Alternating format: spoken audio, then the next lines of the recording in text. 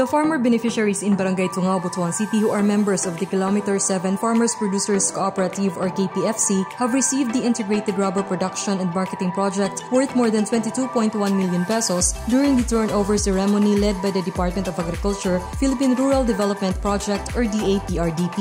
The members of the cooperative are thankful to the government for providing the needed assistance and for helping them achieve their aspirations to expand and improve their livelihood. uh, mapasalamaton kay Migdako sa gihatag nga intervention sa DAPRDP.